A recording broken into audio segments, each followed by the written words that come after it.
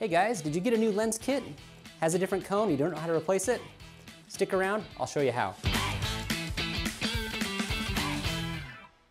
Every lens kit will come with a cone, an air fitting, your focus billet, and of course it'll come with a lens. This lens kit is the one and a half inch. I'm gonna show you how to replace this cone. This will be the same on the two and a half and the five inch.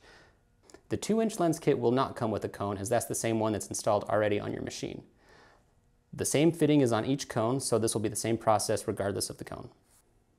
If your cone looks like this with a flat plate on top, do not watch this video, your machine is done differently. First thing we want to do is remove the lens and set it aside. Using a 1.5 millimeter hex key, locate the screw above the nozzle and loosen it. You don't want to pull the screw all the way out, just enough so the air cone falls. Now very carefully, remove the air line from the nozzle. This could be kind of stuck, so just take your time and be gentle.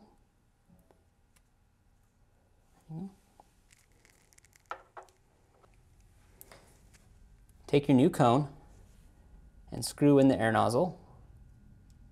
You only have to do this finger tight. You don't have to crank it down too much. Attach the hose to the nozzle.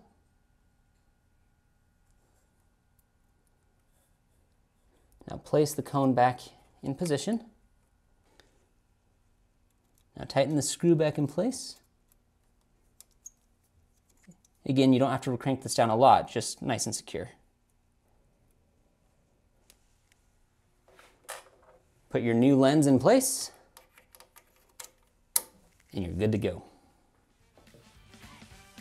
All right, see, it's that simple. Make sure you don't over tighten any of the screws though. You wanna make sure you can take those off later. Check out the community forum on Facebook. There's a lot of assistance to be had there. Don't forget to like and subscribe for more.